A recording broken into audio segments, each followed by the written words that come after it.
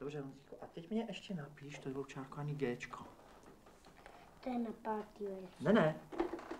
Na pátý přece je F. Ale jako nad ní, nad ní. No tak to nemůžeš říkat na pátý, musíš říct nad osnovou anebo nad pátou linkou, Honzíku. Už to tam napsal? Hm. No a teď bychom si to mohli ale zahrát, Honzo. Umíš to, jak se to hraje? Řekni nám, jak se to hraje, to Gčko. Jako G, úplně jako G, akorát jak se hraje E a F, tak se taky jeden dá tak do ten palec. No, tak zkus to, Honzo, jestli. No, máš tam málo dechu, No. Honzíku, musíš trošku přidat i jazykem, i dechem. No, vidíš. Ukaž, jak máš ten paleček. Ano, tady z té strany budeš kvírat. Tato práce je dost namáhavá a bál jsem se toho, jak, jak to vlastně zvládnu. A bál jsem se taky toho, jestli to nebudu eh, muset dělat jenom kvůli penězům. Nakonec to teda dopadlo dobře. I, I při tom kvantu dětí, jako se cítím v práci dobře. A jako a hlavně totiž to je důležitý, že člověk má pocit jako možnosti nějaký seberealizace. No, byla tam dost, dost, dost, dost hodně chybiček, Honzíku. A Mhm, já hodně. jsem ti říkal, že máš počítat raz, dva, tři. Tady je, jaký tady je tady takt, Honzo?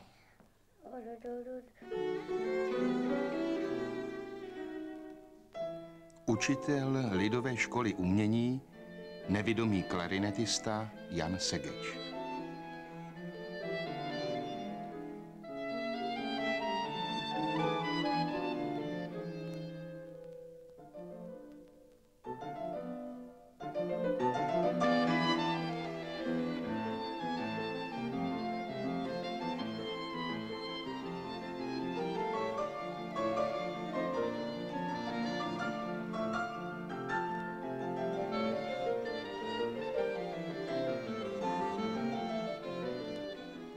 Všechny školy, které jsem navštěvoval, to je od mateřské až po střední školu, byly pro mládež s vadami zraku a u těchto škol je nebezpečí, že člověk nemá dosti možností jako integrace s ostatním světem, ale nicméně při nástupu do zaměstnání stejně tento problém musí řešit, jestli se chce zařadit Podobně jako Jan Segeč, mnoho nevidomých věří, že mostem mezi nimi a okolním světem může být hudba.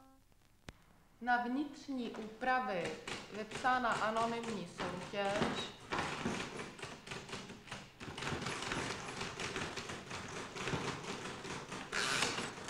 To ještě si k tomu napište. Geniální využití malého a nepravidelného pozemku. Pražská konzervatoř pro zrakově postiženou mládež. Už čtyři desetiletí sem přicházejí nevidomí hledat hudbu svého života. Přečti si to, prosím tě. To standardní B, ano. Ano. A pak ti přichází Potom A, tam E, AS, A budeš hrát ve standardu, A, E, AS. Pěti, D, A, to se opakuje S, B, G, B, a zase A, E na tři nohy, pěti, S, B, E, A, E, A. Ano, a to E, A, tam bude ta ligatura.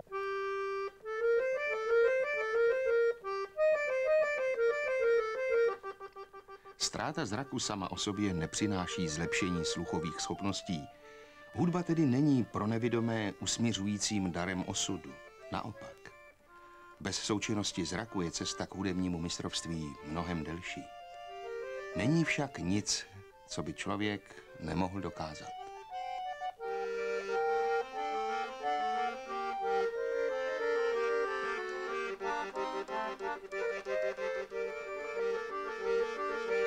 První skok je propastným letem do prázdna.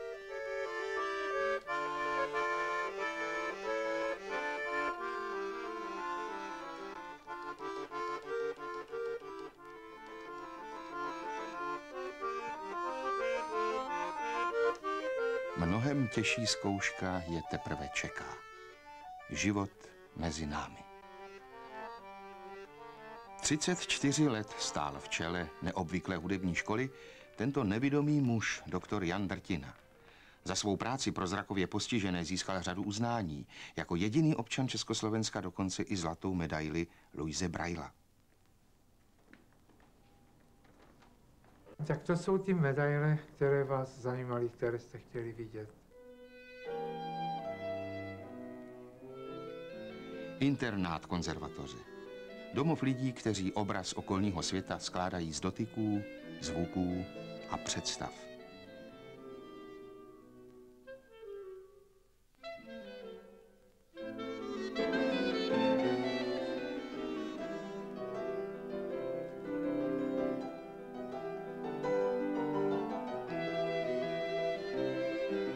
Jsou žáky školy, která představuje jediné zařízení tohoto druhu v celé Evropě.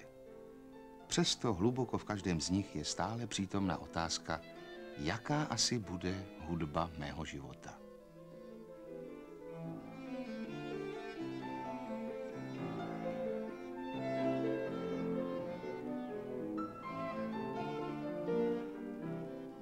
A já si myslím, že všude tam, kde eh, zrakově postižený a zejména i nevědomý absolvent eh, přišel do velmi dobrého kolektivu, eh, který mu rozumí, že může podat výborné výsledky.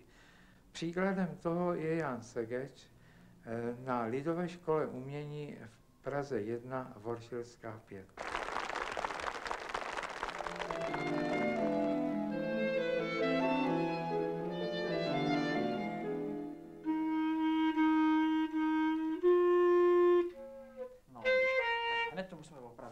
Dčko bylo špatný.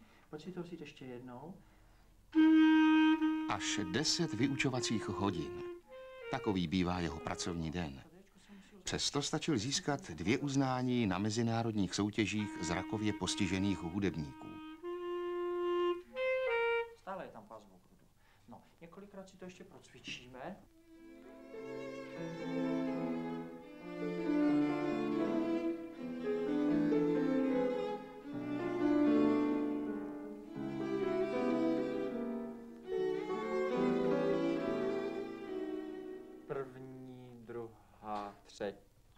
Ví,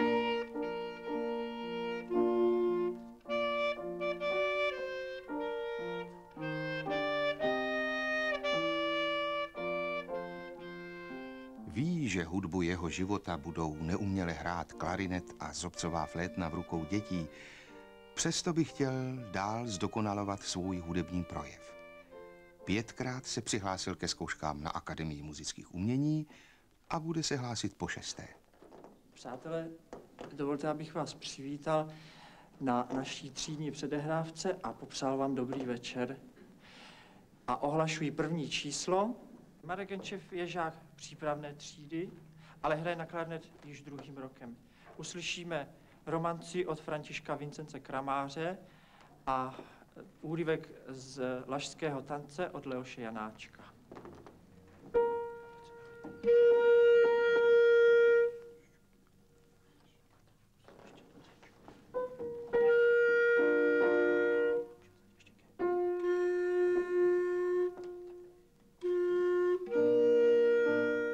Vysvědčení mu píše kolegyně.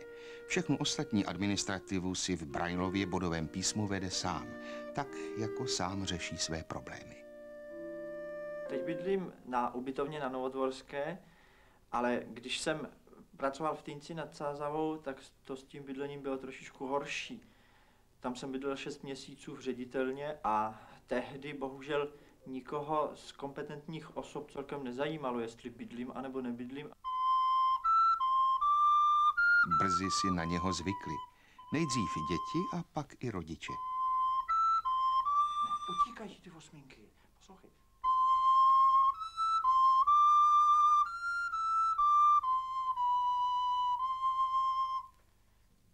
Kačenko, vezmi si ještě ten úplný začátek. Byly tam hvízdy předtím? No, se vrátíme na začátek a zkus.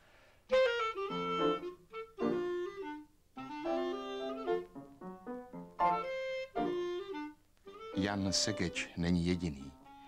I v několika dalších lidových školách umění nalezli odvahu zařadit do učitelského sboru nevidomé hudebníky. Mohlo by se tedy zdát, že vše je v pořádku. Vlastně dodnes trvají některé pochybnosti o tom, zda zcela nevědomý nebo těžce slabozraký absolvent školy může splnit všechny úkoly, které se od učitele lidových škol umění očekávají.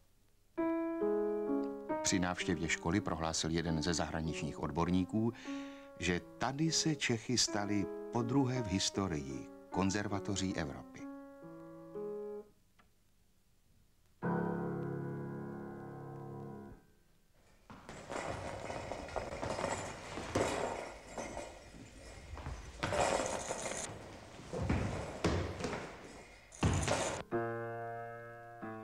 Jedinečná škola sama o sobě nestačí. Je třeba poskytnout jejím absolventům dostatek příležitostí k uplatnění. Dostatek příležitostí, aby mohli naplno rozeznít hudbu svého života.